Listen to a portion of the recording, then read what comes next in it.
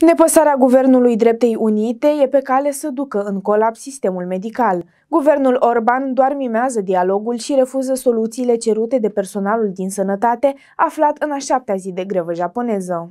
Nepăsarea Guvernului Dreptei Unite e pe cale să ducă în colaps sistemul medical.